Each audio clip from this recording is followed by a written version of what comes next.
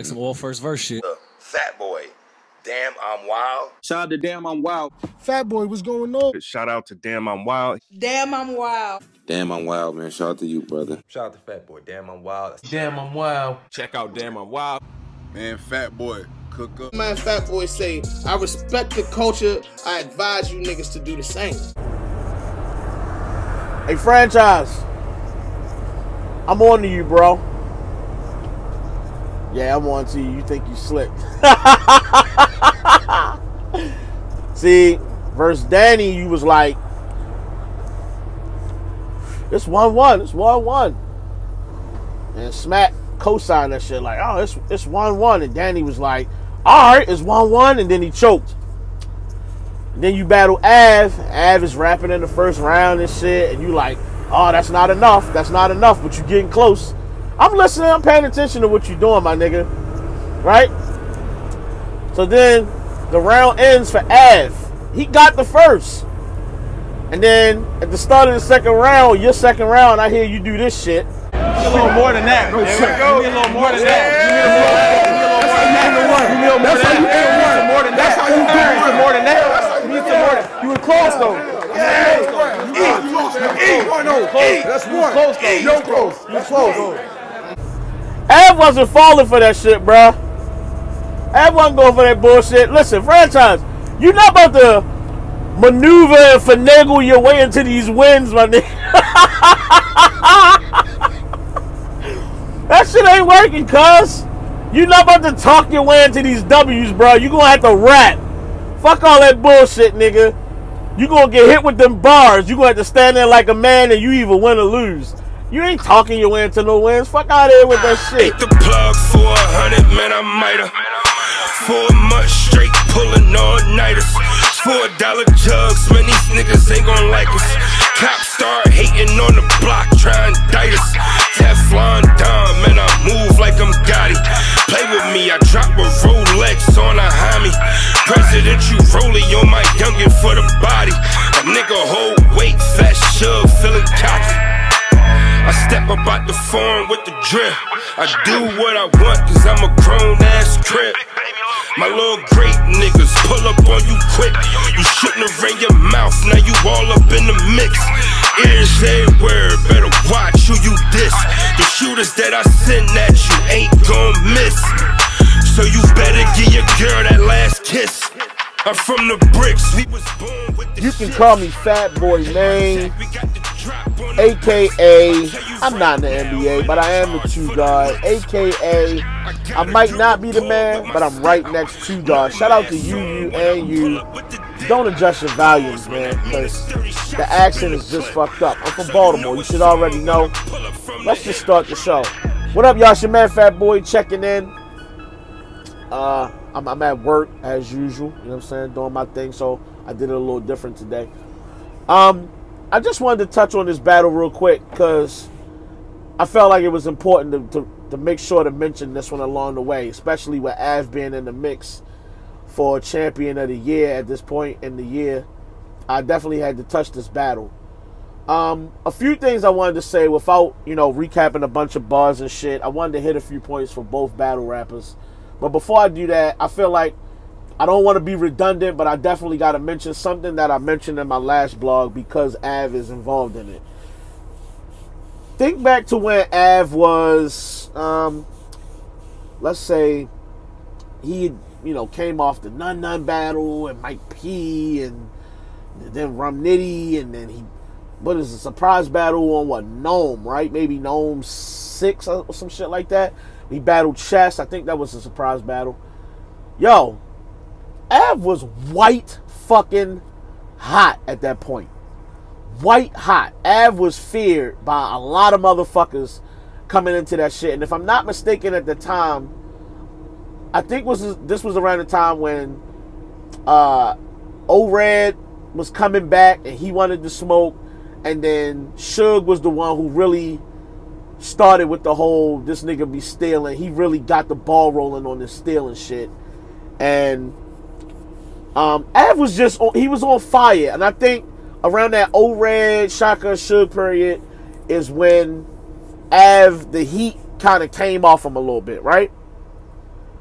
But in 2019, Ave has really just took off. Like, this nigga's on fire. He made sure to sit Arsonal's ass all the way the fuck down. And even in this battle, he still did his fucking thing. And he didn't have to. He could have kept it light. He had a good battle with Gluezy. And I, I'm not going to run down the whole resume. I'm just saying, at this point in Ave's career right now, from when he was white hot in the beginning, and then he kind of, I won't say cooled off, but his name wasn't buzzing as much for a period, but he was still a dope battle rapper. He's back to being white hot right now. And you can't play with Ave. And I'm saying all that to say this. Aye Verb has to take this battle with with Ave now. And I know I just spoke on this about telling niggas when they have to battle and who they have to battle. Because we fans, we want what we want. But they only gonna move as fast as they want to move. Here's the thing though. In order for this battle to make sense, Ave is and, and obviously this is just my opinion, Ave is not gonna reach a point where he's in god tier status and it still makes sense to battle Verb. Like too much time is gonna have passed in order to make it to that point. And I feel like Ave just being one of the best out right now is good enough to match him up with Aye Verb, and this battle makes sense. Verb, you are a legend in this. You are a icon in battle rap. You can't find many names that's bigger than Aye Verb. You just can't. So it's like with coming off of battles with Mook and Lux, I know Ave wants that battle right now. So while Verb's name is hot and Ave's name is white hot right now, this is the period that makes the most sense to make this battle happen sometime this year. Now, maybe it's already in the works because they're doing a whole lot of back and forth. And if history shows you anything, you've been a fan of this culture and you on Twitter, you already know. When niggas start going back and forth on Twitter, they probably already booked. But they've been doing this for a little minute now, so I, I can't really tell just yet. But it only makes sense to book this battle right now. I would love to see the battle only because I know Ave is going to give Verb a fight, and I know that Verb knows if he come to dance with Ave, you cannot play with him. He one of them lyricists that you cannot bullshit with, and Verb going to pin together some really good shit. I think it makes a dope matchup, and it puts another stripe on Ave's resume. And right now, I'm really in the mind frame of whether it be Chess, whether it be Ave, whether it be Twork. I'm really in the mindset of us needing to build these new up and comers so that we have another tier of top elite MCs to replace the ones that we kind of losing. We're not seeing these vets the way we used to see them, and that's more and more obvious all the time. You get one or two really big ones on the card, and it's like John John has kind of filled in as one of the staples. O-Red, even though it's been a little minute since 2017, filled in as one of the staples, one of the big names from back in the day. And etc. Right? So it's like we need these names to grow so that we can get these big matchups down the road, so they continue to continue to be big matchups down the road. So moving from that, let's get into the actual battle: Ave versus Franchise. This was a pretty good battle. I did enjoy the battle, start to finish. I, I thought both MCs did come for the shits. They was with it. Let's put your dancing shoes on. Let's get right to the fucking shit. And right out of the gate, franchise was with it. And the thing with franchise is this. You walked into this battle, and I said this in my prediction blog. You was walking into this battle against somebody who just does what you do, but they have mastered their craft. And I just don't see you doing this better than what Ave does it. Ave setups are better. A lot of Ave setups, even in this battle, you can see his setups were better than some of the shit that uh, franchise was putting together. Um, and Ave is just a master at disguising where the punch is going to land. Every once in a while, you can see where it's going, but he puts his shit together and he pins it so well. You know, rest in peace to Tech. Hey, the cleanest puncher in the game. That has not changed at all. Ave is still that nigga when it comes to setting shit up. It's always clean. It's not a reach. You, it's, it's understandable. It's all that. It's, it's always pretty perfect. Now, whether it's super fire or it's just cool, or the range in between, that's a whole different thing. Franchise hasn't mastered that yet. What franchise has working for him is the fact that uh, he can create those dope punches, and he has the energy, he has the aggression, he has everything you want. He brings you the gun buzz, the street shit, but there's some things he's got to know, bro. We don't say bando no more. That's not a we don't we don't throw that around no more. I get that there's a there's a barrier between the U.S. and where he's from up in Toronto or whatever. There's a barrier, so it's a bit of a gap. But that's always obvious when I'm watching franchises. Like, okay, we don't say bando. Every battle you remind us that you was running from the cops. You pull out all the gun bar badges. You make sure to hit all the different guns. And that's cool, and I'm not knocking that. But it's like you got to give us more. You got to become more than that at some point.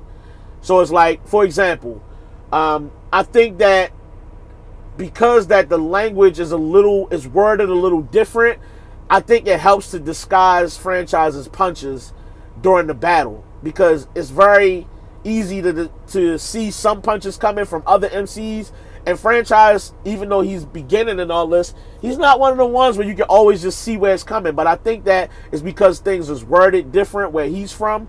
He's able to disguise it a lot better, and it don't just become apparent to you right off the rip where he going with it. So that helps. But boy, okay, your current event shit, bro. And I said this behind the scenes to some of my peers. Shout out to all of them. Um, the spin the top shit. That's a recent thing. People kicking the top off bottles. That bar was terrible. Jamming the gun down your throat. It's the cucumber challenge or whatever the fuck.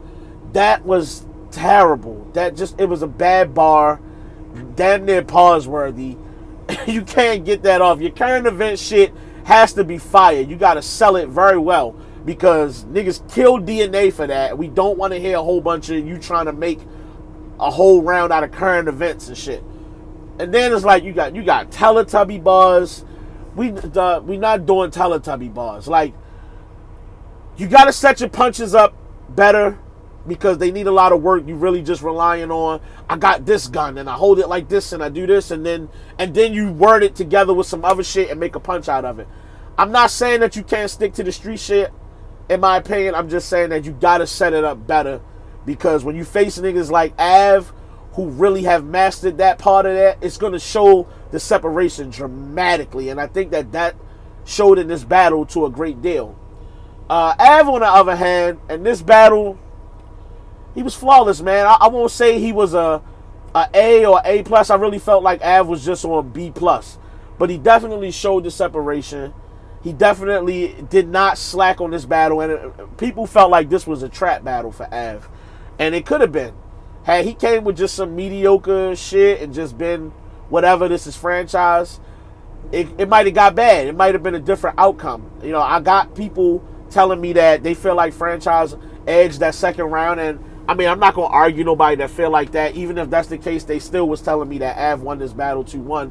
I got it 3-0 for Ave, all three rounds. I, and the first round, I watched Ave clean him up.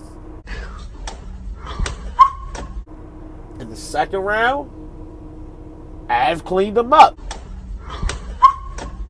In the third round, it was no different. It was just levels. It was separation, and Ave cleaned him up. Now, the stock. Av stock don't necessarily go up, but it's another notch on his belt towards champion of the year. And that's dope for Ave. I feel like late in this year, as long as he don't have any hiccups, he gonna be in the running at the end of the year. It's almost no way. At this point, I don't think you can move Ave out of the top five for sure. And he might be positioning himself comfortably in the third spot. At least.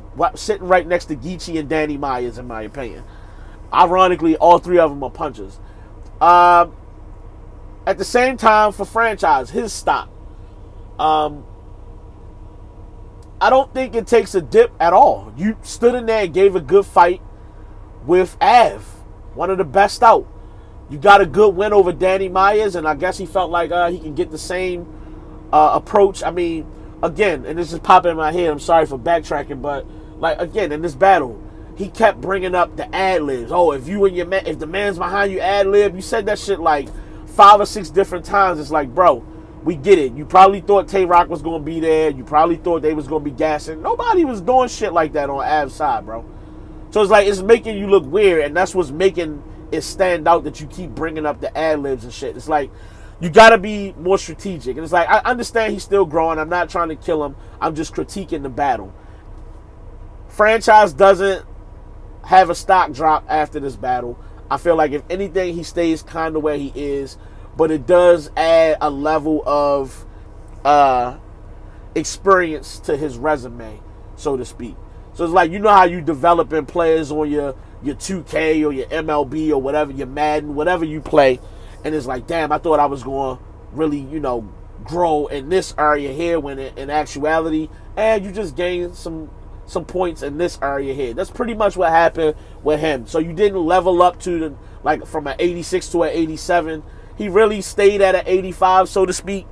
But you know, at the end of the day, it works well for franchise to have that out of the way because you don't want to have to battle Ave on a main stage somewhere and get smoked because Ave is also getting better.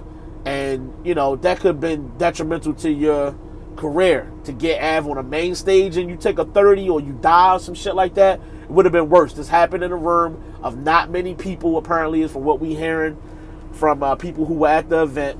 You died in the you you lost. I won't say he died. He lost in a room that didn't have that many people, and you know the crowd didn't you know really gas Ave to the max or no shit like that to make it look worse. So it was a good good battle for both. Uh, again, Verb, Ave, we we need to get that book. Franchise, salute to you, bro. You did a good job. You just didn't win this one. Uh, but I'm definitely looking forward to more franchise battles. No lacking, my nigga. I love that shit. No lacking. It's your man Fatboy though, signing the fuck off. The same way I always do. I respect the culture, and I advise you niggas to do the same. Hey yo, Posey! Take us home, my nigga. Please don't unplug the game.